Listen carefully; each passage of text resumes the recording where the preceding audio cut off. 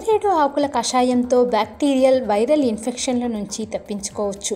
నేరేడు ఆకులను మెత్తగా నూరి రోజుకు అర స్పూన్ తీసుకుంటే రక్తపోటు కూడా అదుపులో ఉంటుంది.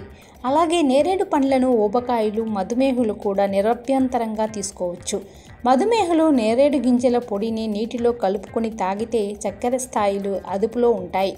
నేరేడు పండ్లు తింటే కాలేయ సంబంధిత సమస్యలు తొలగిపోయి కాలేయం పనితీరు మెరుగుపడుతుంది. అజీర్తితో ఇబ్బంది ఏర్పడితే నాలుగు పండిన నేరేడు పండ్లను తింటే ఉపశమనం కలుగుతుంది. నేరేడులోని యాంటీ ఆక్సిడెంట్లు మెదడు గుండె ఆరోగ్యానికి రక్షణగా నిలుస్తాయి. రక్త క్యాన్సర్ కారకాలను కూడా నిరోధిస్తాయి. అధిక జ్వర బాధితులు ధనియాల రసంలో నేరేడు రసం కలిపి తీసుకుంటే శరీర ఉష్ణోగ్రత అదుపులో ఉంటుంది.